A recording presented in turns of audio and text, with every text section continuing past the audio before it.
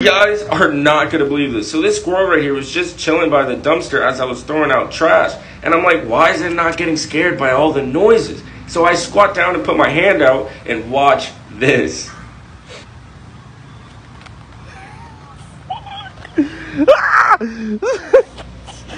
Oh, bro, get the. F- oh, he's chilling. Nah, he's chilling. That's my guy. That's my guy. Hey, man. Yo, you better not fucking. No!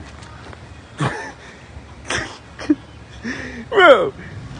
So like at this point, like he was just chilling, and I'm like, he's not that bad. Like I can make him a pet. Look at him, he's so cute. Yo, chill, man. That is my nut sack. That is not the nuts for you, man. That's a good one, Vinny. Dude, what the fuck? Oh no, bro! I want to pet him, bro.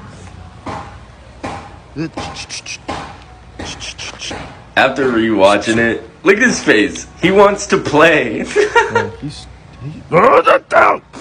Dude, I felt so bad. Oh, look at his face. Like as much as I wanted him on my shoulder, like I, bro, he thinks my hair is a nest.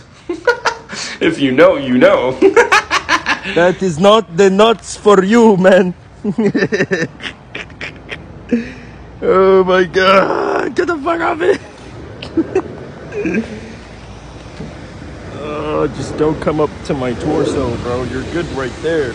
What the fuck is going on? So it's been over a minute and a half, and I'm trying to walk to a point where my brother could hear me because he's working inside this house. Bro, for like three minutes, bro. My brother actually has a clip of this moment. Comment for part two.